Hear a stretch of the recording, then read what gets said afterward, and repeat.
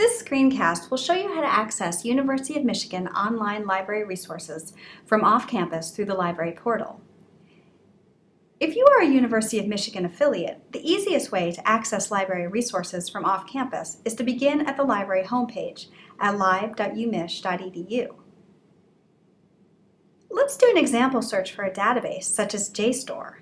Type the name of the resource into the search box. Then look under the heading Databases and you will see JSTOR. When you click on the title of the electronic resource, you will be prompted to enter your unique name and password. From here, you can do a search and will have automatic access to everything that is available through the library.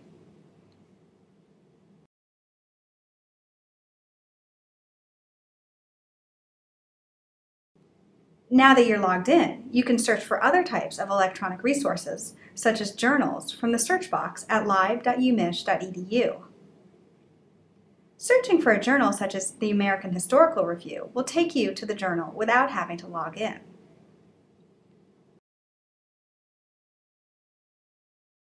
Whenever you want to access online resources from off-campus, it is always easier to go through the library portal at lib.umich.edu.